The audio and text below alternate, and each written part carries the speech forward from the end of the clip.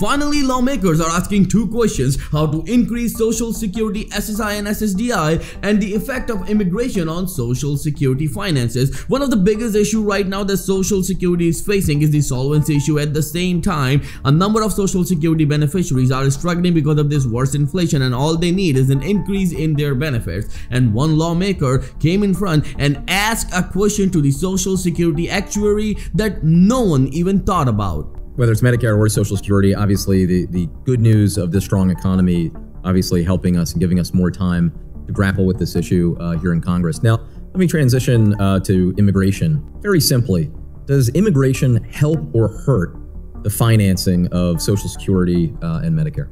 Well, yes, this is indeed a very important question. I'm going to show you this entire video clip because this video is going viral all over the internet. And remember that this question is very important because the upcoming administration has its stance on illegal immigration and how it's going to affect social security. This is very important for close to 70 million social security recipients. Remember, I'm going to break down each and everything for you in this video, including I'm going to give you some breaking news and the news that will certainly give you a shock. And you will say that is it even possible? Well, before I start the video, I would like to ask you just for a little favor to please smash the like button on this video as it helps this video and the channel as well. So without any further ado, let's start the video.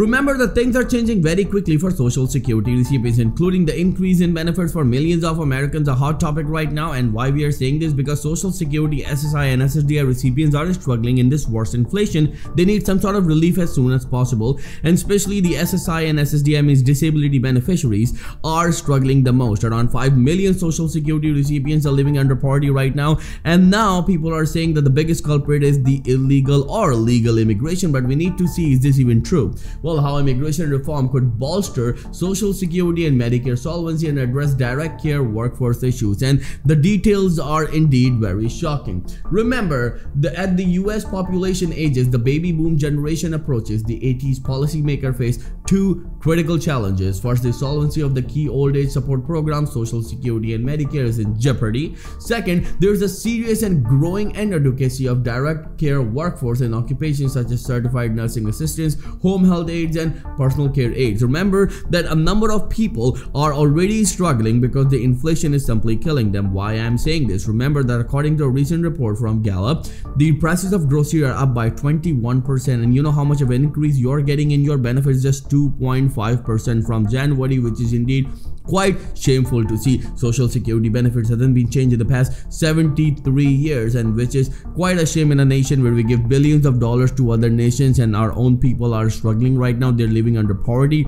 How can you justify this situation? Let me know in the comments below. What do you think about it? Well right here i would like to ask you this very important question. What do you think? That illegal immigration is bad for social security or legal immigration is bad for social security? Both are different topics but the answer should be similar let me know in the comments below what do you think about this whole situation. So let's go towards the details and this is very very important. The effect of immigration on social security finance is one of the biggest concern right now that the people have. The primary social security trust fund is projected to be depleted by 2033 unless congress acts. At the time beneficiaries would face an automatic 21% reduction in benefits threatening the financial security for millions of americans. And right here i would like to ask you this very important question. Why the benefits will face a 21% cut when we have billions and trillions of dollars. Yes, you heard it absolutely right. A lot of people will debate that no, the US has no money. Well, we have money and we can do wonders. Why? Because at the same time, we can give billions of dollars to other nations and the war-torn countries. Why not spend that money on our own people? And that's what American people has been asking for a very long time. And this is the question that I would like to ask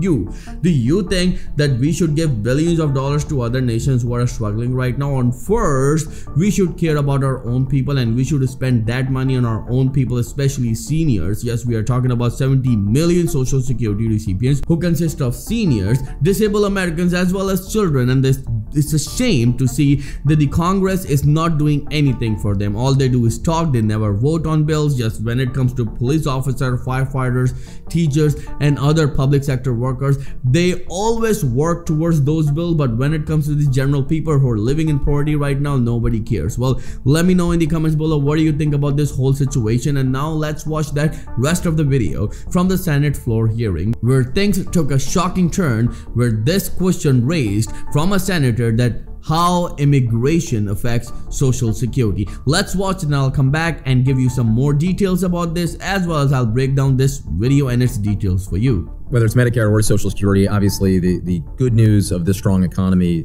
obviously helping us and giving us more time to grapple with this issue uh, here in congress now let me transition uh, to immigration very simply does immigration help or hurt the financing of Social Security uh, and Medicare? Let me start at least. Uh, immigration typically is for people who are in their 20s to maybe late 30s. So generally speaking, when people uh, enter the country as immigrants, along in many cases with children, but people of working age tend to be of younger age.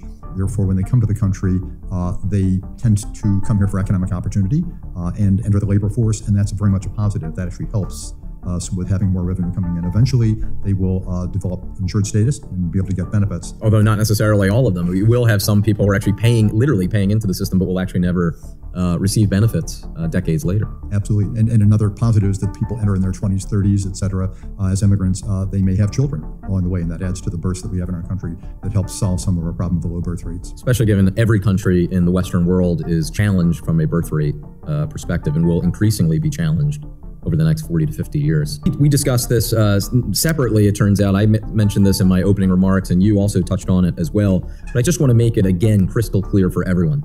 Social Security does not add one dime to our national debt. So after watching this video, let me know in the comments below what do you think is the actual answer from the Social Security actuary. What do you think about this whole situation? Do you think the Social Security after watching this video is affected by immigration or is just the matter of illegal immigration and legal immigration because if there's legal immigration, the people are into the system, they pay into the system, then they get the money they deserve or at the same time, if there's illegal immigration, these people are never in the system so how come they receive Social Security? That's the biggest debate right now. Let me know in the comments below what do you think about this whole situation because this is very important. And if you don't talk about it nothing happens. Again at the same time i'm going to make a dedicated video on the increase in social security and on the proposal of bernie sanders as well as from john larson. These two proposals are really important. John larson is talking about across the board increases to social security while bernie sanders is talking about $2400 yearly increase that translates to $200 increase every single month.